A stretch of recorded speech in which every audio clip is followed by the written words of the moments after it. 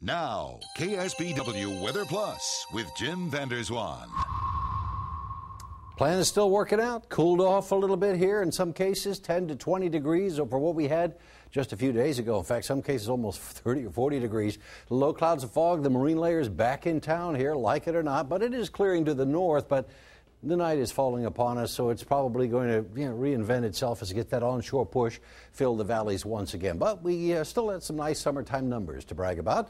Mid 80s did the trick at Boulder Creek, Ben Lomond, nice day up there, said Don. 81 in Scotts Valley, 74 in Santa Cruz, a little cooler in Watsonville. Low to mid 60s as expected around the peninsula with Carmel. Get a little more sun there, so 71 degrees, 64 Monterey and Seaside.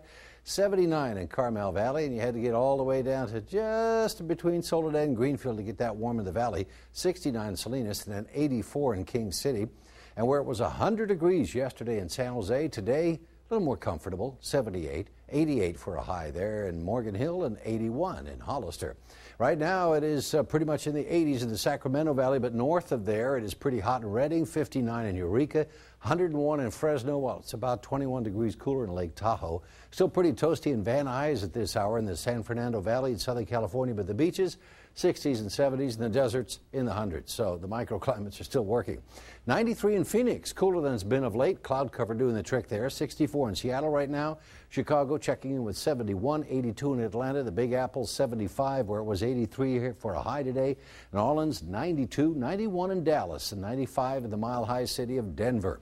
Hurricanes, that's uh, the latest news here. We've got one with a nice little eye wall moving out there. That is Hurricane Danielle. Pretty good storm, category two, but it looks like it's going to move around Bermuda and just skirt back up into the northern Atlantic. Another tropical storm behind it.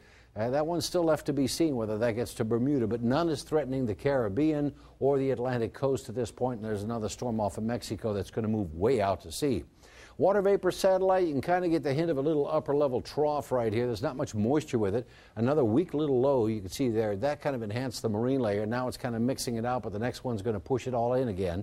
So it's just trading one set of variables for another. The trough itself, lines of equal pressure, you can see the isobars swinging through over the next five days. So we start to cool down, marine layer lifts, and the cool air comes in Sunday, probably blows it out, and then we get a flat high pressure ridge. And with luck, we'll get this high pressure ridge to move closer to the coast by the middle of the week. Meanwhile, low clouds and fog will put those back in the valleys and then clear them back to the bay with a good sea breeze tomorrow. Microcast a little reluctant to cause, uh, you know, to push it back in in a hurry. So it may clear a little sooner tomorrow, come back in later, but I think Saturday probably the grayest day, along with a few high clouds. And then Sunday, enough cool air should actually mix us out a little bit better. So it's not going to be a, a bad weekend at all, really, when you think about it. Of course, any weekend is a good weekend if you're doing something you like to do on a weekend. 70s and 80s, that'll do it for uh, high temperatures in the Santa Clara Valley.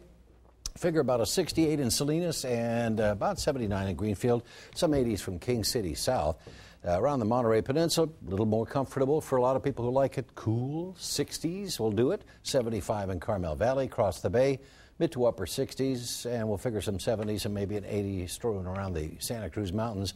Everybody gets a Friday, though. That's kind of nice. Clear, summer stratus spreading inland tonight. We'll put it in the mix there, keep an eye on it, and we'll figure a little local drizzle around the bay and the clouds clearing to the bay for inland sunshine with a little breeze in the afternoon. Morning low clouds should burn off to about partly cloudy with a couple of high clouds over the valleys, and then Sunday we'll see a little more sunshine. Temperatures a little below normal inland, but still not bad, and it will add more and more 80s as the week progresses.